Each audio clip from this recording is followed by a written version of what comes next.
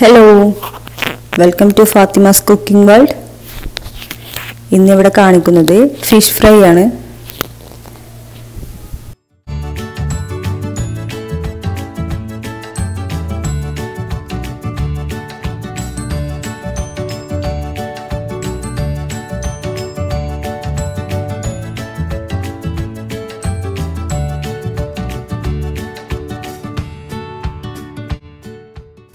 അപ്പോൾ നമുക്ക് fish fry ഉണ്ടാക്കാൻ തുടങ്ങാം.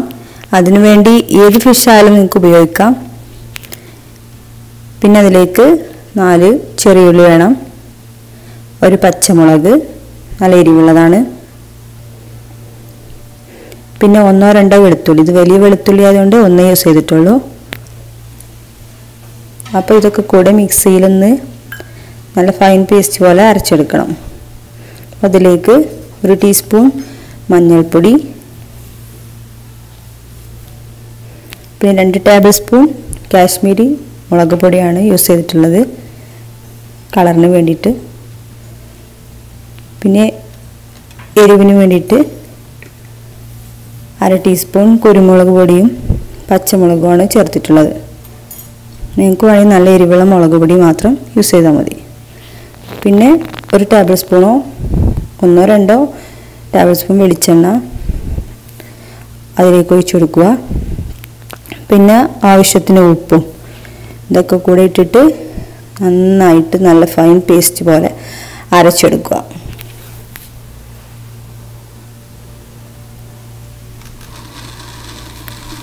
ഇനി അഥവാ അരയുന്നില്ലെങ്കിൽ ഒന്നോ രണ്ടോ ടേബിൾ സ്പൂൺ വെള്ളം ചേർത്തിട്ട് നന്നായിട്ട് അരച്ചെടുത്താൽ മതി.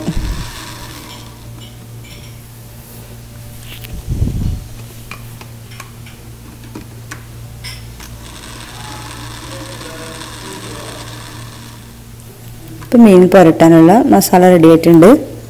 ഇതൊരു പ്ലേറ്റിലോട്ട് മാറ്റുക.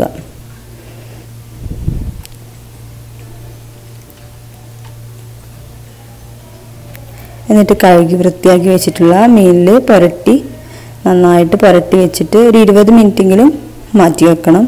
മസാലയൊക്കെ നന്നായിട്ട് പിടിക്കാൻ വേണ്ടിയിട്ട്. അതിനുശേഷം വറുത്തെടുത്താൽ മതി. ഇപ്പോൾ ഇവിടെ ഒരു ഇരുപത് മിനിറ്റ് കഴിഞ്ഞിട്ടുണ്ട്. ഇത് വറുത്തെടുക്കാം. വറുക്കാൻ വേണ്ടിയിട്ട് വെളിച്ചെണ്ണയും കുറച്ച് കറിവേപ്പിലയും വേണം.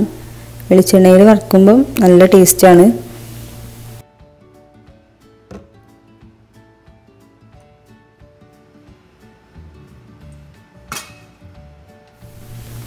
അപ്പോൾ വറുക്കാൻ വേണ്ടിയിട്ട് പാൻ നന്നായി ചൂടാക്കി അതിലേക്ക് കുറച്ച് വെളിച്ചെണ്ണ ഒഴിച്ചു കൊടുക്കുക. വെളിച്ചെണ്ണ നന്നായി ചൂടാവുമ്പോൾ കറിവേപ്പില ഇട്ട് കൊടുക്കുക. എന്നിട്ട് മീനിട്ട് കൊടുക്കാം നമുക്ക്.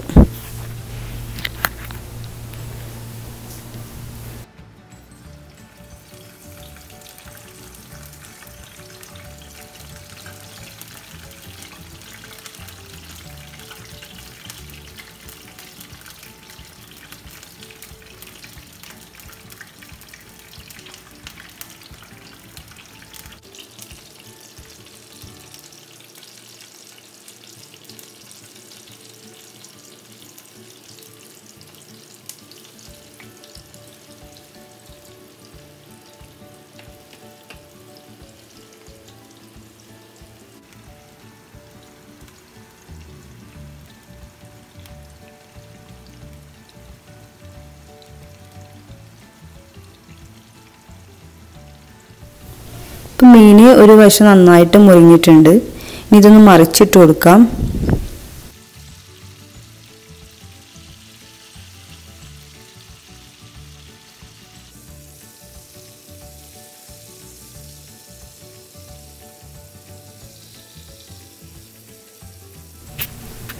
മീൻ നന്നായിട്ട് മുറിയണമെന്നുണ്ടെങ്കിൽ രണ്ട് മൂന്ന് വട്ടം തിരിച്ചു മറിച്ചിട്ട് മുറിച്ചെടുക്കുക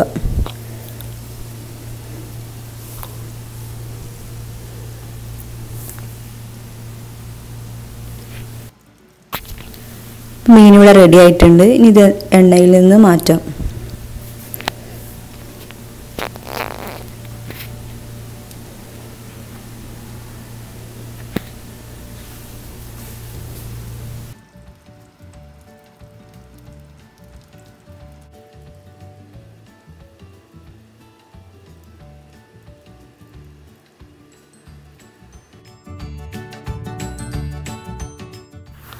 അപ്പോൾ നമ്മുടെ ഫിഷ് ഫ്രൈ ഇവിടെ റെഡി ആയി കഴിഞ്ഞു.